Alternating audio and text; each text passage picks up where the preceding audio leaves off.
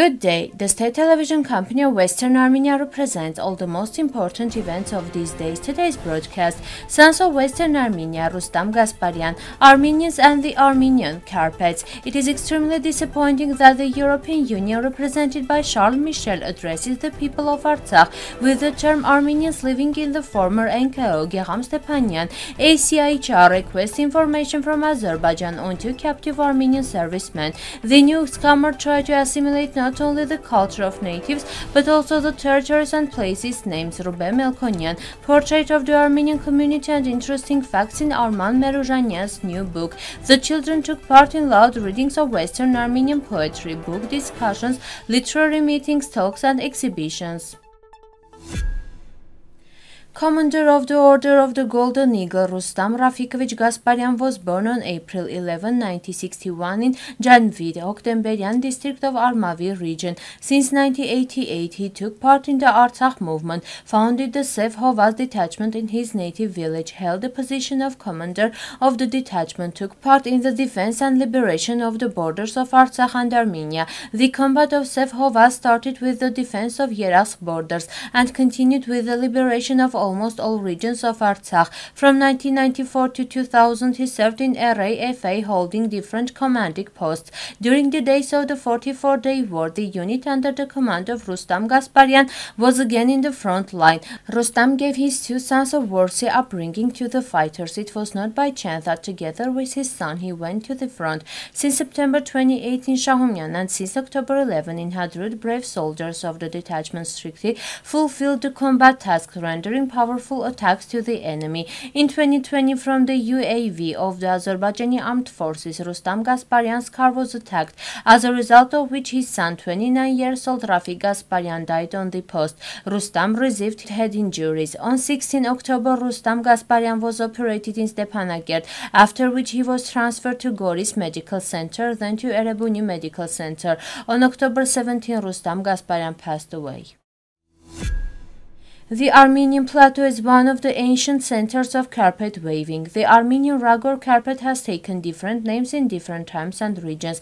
In Armenian literature, the word carpet is found in the Bible translation since the 5th century. For centuries, the word rug has been synonymous with carpet in literature. It is noteworthy that another name for carpet, Khali or Gali, comes from Kalikala, the Arabic name for the city of Karin, known for its rich carpet art. Another synonym for carpet, Basma is found in medieval Armenian literature and comes from the word seat. Armenian carpets have harmonious colors due to red, white, blue, green, yellow and their variations. The yellow color is obtained from yellow flowers, the red color from red insects called vartang armir and the roots of shrubs called toron rubia, and the green color from walnut shells from which shades of brown can also be obtained.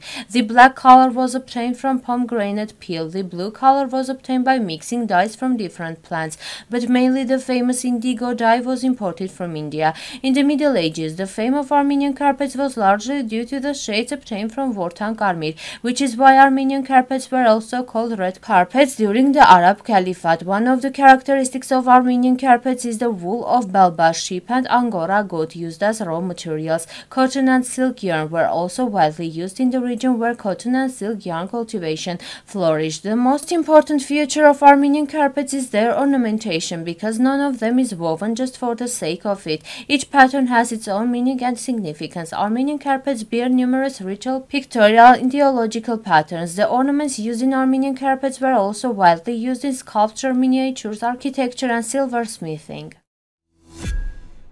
It is upsetting that the EU, in the face of the President of the European Council, Charles Michel, refers to Artsakh people as Armenians living in former NKAO, disregarding the fact of the decades-long existence.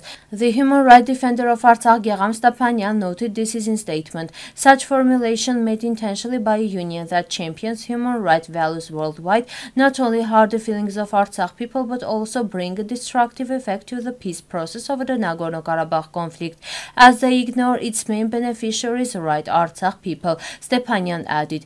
The neglect of Artsakh people's will and interest and the intentional avoidance of using the term Nagorno-Karabakh definitely do not contribute to the peace negotiations on the initiative of the EU, but pave the way to the forced subjugation of Artsakh with a sustainable level of democracy into an Armenophobic and authoritarian state Azerbaijan, the Artsakh ombudsman concluded.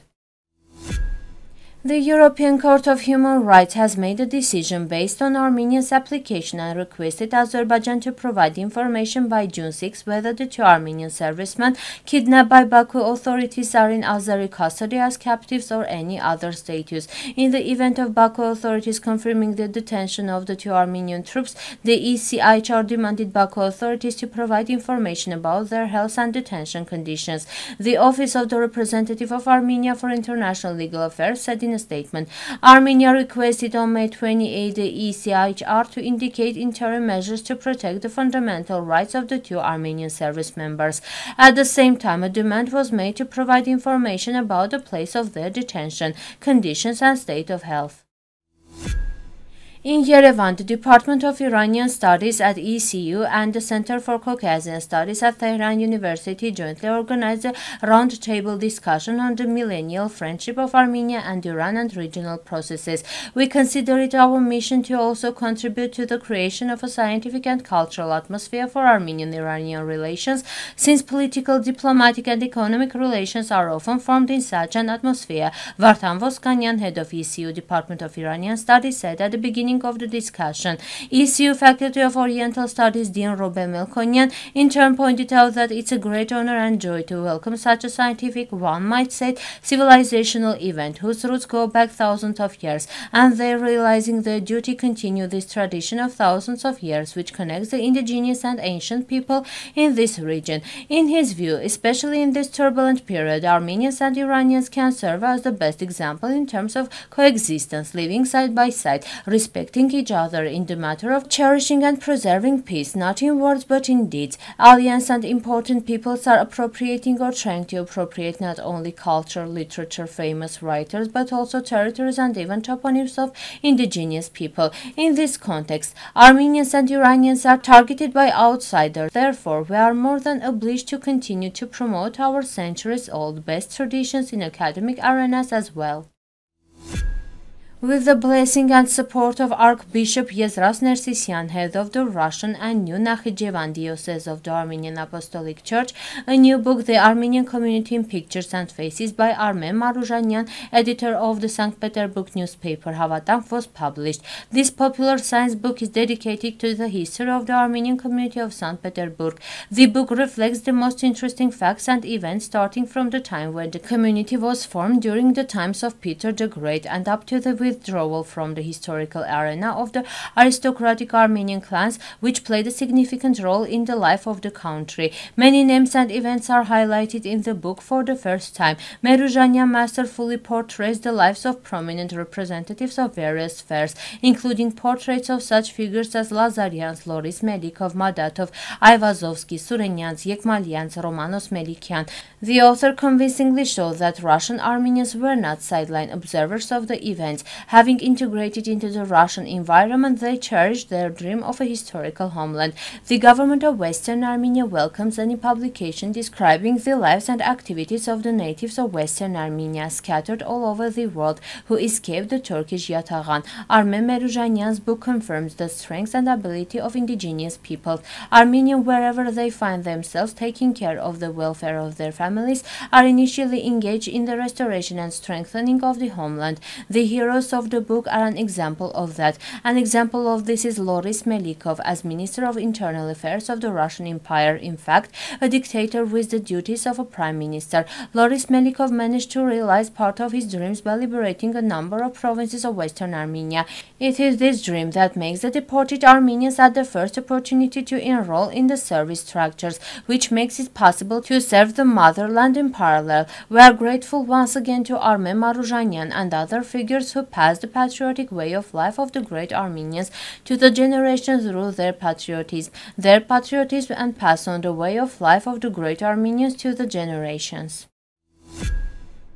A month dedicated to Western Armenian literature ended at the Khnko-Aper National Children's Library. Throughout May, children who visited the library participated in loud readings of Western Armenian poetry, book discussions, literary meetings, talks, and exhibitions. Since 2010, the Western Armenian language has been included in UNESCO's Electronic Atlas of the World's Language in Danger, with the status of definitely endangered from the existing levels of danger, recognizing the role and importance of each cultural center center in preserving an endangered language, the library has taken on the mission of rediscovering Western Armenian literary heritage and the Western Armenian language for children. The program introduced the works of Mkrtich Beshiktashlyan, Siamanto Vahan Tekeyan, and Vahe to the children visiting the library. As part of the project, children had the opportunity to listen to patriotic songs and fairy tales in Western Armenian.